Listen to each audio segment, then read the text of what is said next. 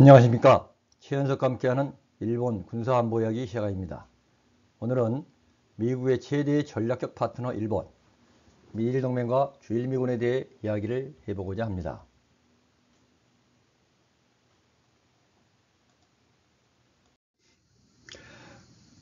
주일미군을 얘기하고자 할 때 왜 미국이 일본과의 동맹을 강화하며 냉전 시대부터 현재까지 일본의 전진기지를 배치하여 자국의 전력을 끊임없이 운영해오며 미일 동맹을 강화해 왔는지를 생각해 보아야 합니다.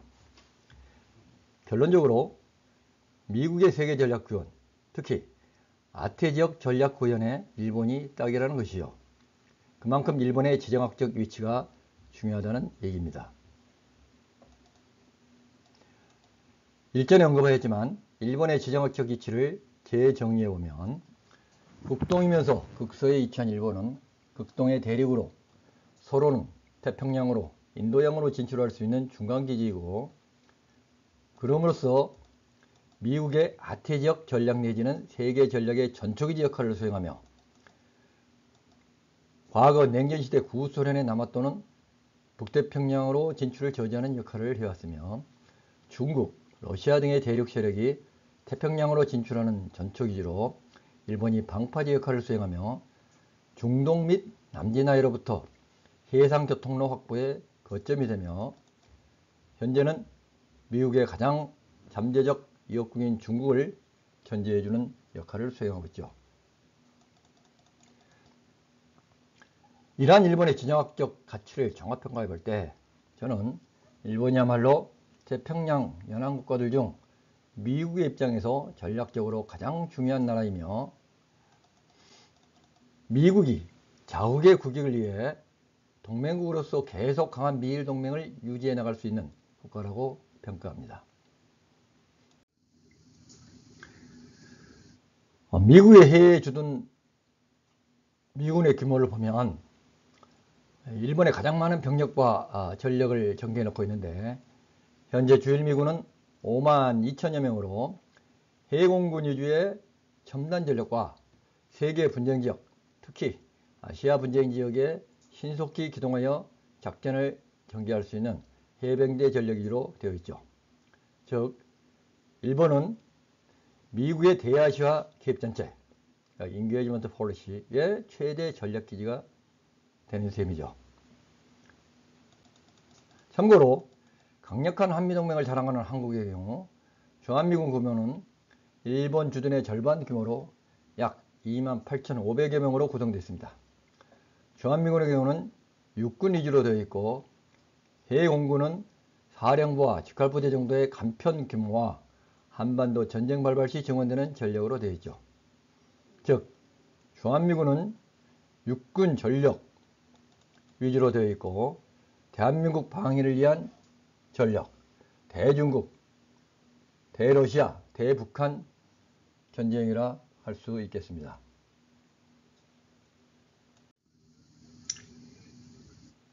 미군이 일본에 주둔할 수 있는 근거가 되는 것은 미일 안전보장계약에 근거한 강력한 미일 동맹체제, 미일 안보협력체제인데요. 그림에서 보시다시피 주일미군은 간도 지역의 주일미군 사령부와 오공군 사령부를 비롯해서 일본 본토에 9개소, 오키나와에 6개소, 총 15개 지역의 전력을 배치하여 운영을 하고 있습니다.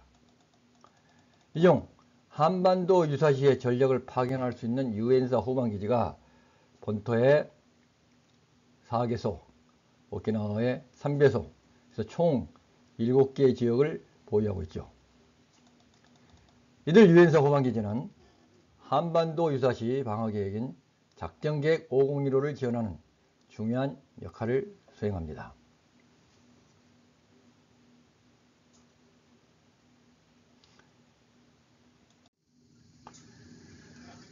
미일 안전보장계획에 바탕을 두고 있는 미일 동맹체제 1960년 1월 19일에 안전보장계획이 체결이 되었죠.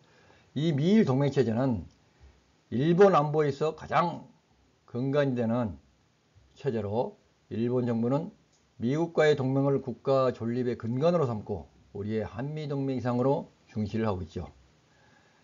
미일 안보조약은 일본의 안전보장을 위해 미국이 참여하고 미군을 일본에 주둔시키는 것 등을 정한 양국 간 조약으로 1951년 9월 8일 일본과의 평화조약의 날에 서명되고 이듬해 1952년 일본이 메가더 군정으로부터 독립한 어, 그 이듬해 1952년에 발효되었는데 1960년 일본과 미국과의 상호협력 및 안전보장 조약 신, 신미일 안보 조약이죠. 이 조약이 발효됨에 따라 효력을 그전 어, 그전 안보 조약은 효력을 상실하게 됐죠. 이 안보 조약에 의거 미일 양국은 방위협력 지침을 설정하여 이 지침 안에 세부적인 안보 협력을 명기하고 발전시키고 있죠. 1978년 처음으로 안보 협력 지침을 설정하고 이후 국제 안보 상황의 변화에 따라 1997년에 1차 그리고 2015년에 2차 협력 지침을 수정 보완하여 현재는 2015년에 안보 협력 지침을 적용하고 있습니다. 미일 동맹도 한미 동맹과 마찬가지로 냉전 시대 일본의 최대 안보 위협인 소련의 위협으로부터 일본의 안보를 지켜내고 자유민주주의 발전과 세계 제2의 경제대국으로 성장시킨 1등 공신이라고 할 수 있죠.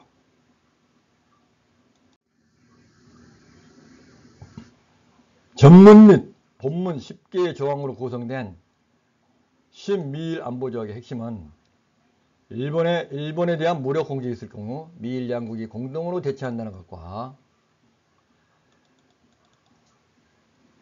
일본 안전의 기여와 국동에서의 평화 안전의지 위해 미군이 일본의 시설 및 기지 사용 허가를 명시하여 미군의 일본 조진을 명시하고 있는데요. 일본은 이에 의하여 자국의 안보 및 미국의 세계 전략을 지원하기 위하여 미국의 육해공 해병대의 전력을 일본 열도와 주변 지역에 자유롭게 운용할 수 있도록 적극 지원하고 있죠. 이러한 별도의 협정은 미일 방위 협력 지침으로 나중에 구현이 되는데요. 미일 방위 협력 지침의 제7조에 보면은 시설의 사용이라는 얘기가 나오는데 어, 이 지침에서도 미일 양 정부는 자위대 및 미군의 상호 운용성을 확대하고 유연성 및 항단성을 향상시키기 위해 시설 구역의 공동 사용을 강화하고 시설 구역의 안전 확보에 협력한다 라고 어, 설정하고 있습니다. 신미일 방위협력 지침은 총 8장으로 구성되어 일본의 안보 보장을 위한 미일 간의 협력을 평시와 전시로 구분하여 상황별로 세부적으로 기술하고 있고 나아가 일본 주변의 주변 사태에 대한 협력도 세부적으로 규정하고 있습니다. 주요 내용을 분석해보면 미일 동맹의 활동 범위가 기존의 방위협력 지침에서 설정한 일본과 주변 지역은 물론 아태 지역 및 전 세계로 확대되었다는 점이며 안보협력 상황을 평화시 일본의 평화안보에 대한 중대한 위협 상황, 일본이 군사적 애침을 받는 상황, 일본이 아닌 미국과 다른 나라가 군사적 애침을 받는 상황, 일본에서 대규모 재해가 발생한 상황 등 총 다섯 가지로 확대를 하였다는 점입니다. 또 미일 동맹 협력 추진 체계를 확대하고 통합성을 강화하기 위해 상설 동맹 협력 메커니즘을 구축하기로 한 점과 평시 안보 협력 범주를 확대하여 이전과는 달리 정보 및 감시 활동 물론 탐지 활동까지 통합적으로 협력하고 또한 평시에 탄도미사일을 포함하는 공중방어와 해상안보까지 양자 간의 안보 협력 범주에 포함시켰다는 점 등을 들 수가 있겠습니다. 이러한 내용을 볼 때 일본, 미국과의 안보 동맹 체제가 한층 더 강화되었음을 알 수 있으며 한편 향후 자위대가 전수방위를 벗어나 주변, 주변 지역의 사태까지 출동할 수 있는 상황이 초래되지 않을까 우려되고 있습니다. 어, 주일미군의 전력 배치 상황을 살펴보죠. 먼저 오키나와를 제외한 본토 지역 배치 상황입니다.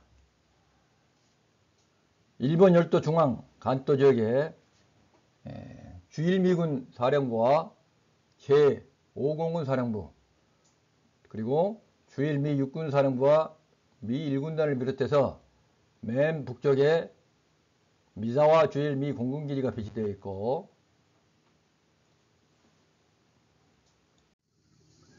도쿄 남쪽의 요코스카에는 주일미 해군 최대 기지로 제7함대의 주력과 항공모함 로날드 레이건호와 각종 최신의 첨단 전함들이 배치되어 있으며 요코스카 북쪽의 아스키에는 주일미 해군인 아스키 항공기지대와 제5 공무항공단이 배치되어 있으며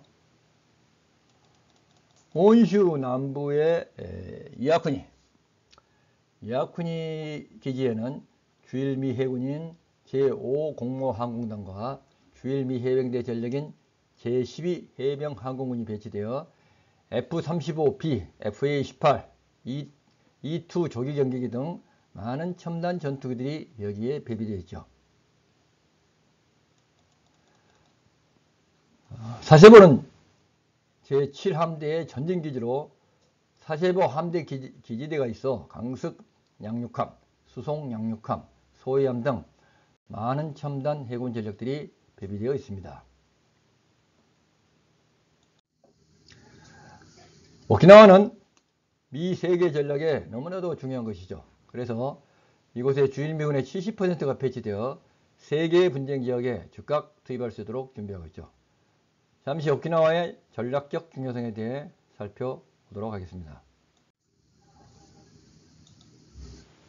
오키나와는 남서 제도의 중앙부에 위치하고 일본 해상로에 근접하여 일본 안보상 매우 중요하며 한반도 및 대만 해협 등 일본 안보에 영향을 미치는 잠재적 분쟁 발생 지역에 근접하여 잠재적 분쟁 발생 지역에 신속히 부대 전개가 가능한 반면 군사적으로 긴장이 고조된 지역은 아니기 때문에 대체적으로 안정된 어, 지역의 의료 보호를 받고 있는 지역입니다.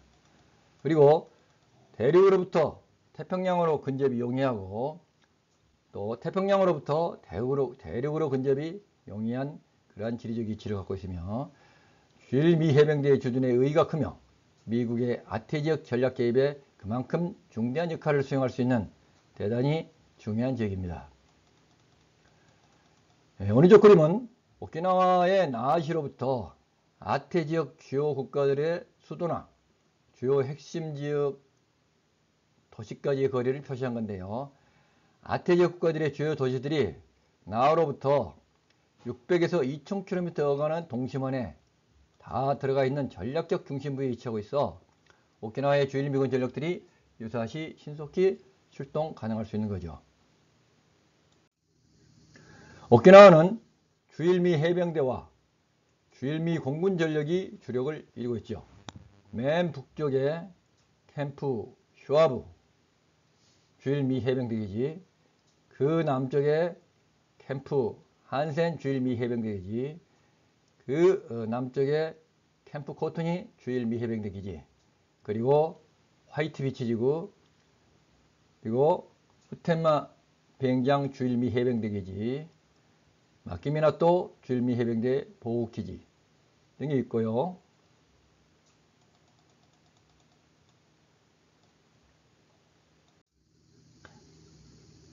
그리고 미 태평양 공군의 가장 큰 공군기지인 가데나 비행장 제5공군의 18항공단이 위치하고 있죠. 이 기지에는 오키나와 함대 기지의 주일미 해군과 패트리어트 부대인 주일미 육군 기지도 함께 있죠. 제1해병단 사령부가 있는 지케랑 캠프 등의 전력이 배비되어 있습니다.